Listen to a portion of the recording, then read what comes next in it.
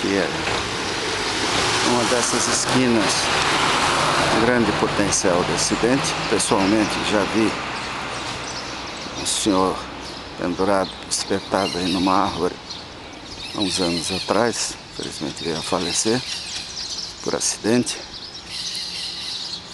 E aqui um local grande concentração humana, isso tende a aumentar. Quantidade de prédios em construção aqui no bairro é grande. Então essa área da cidade demanda desde já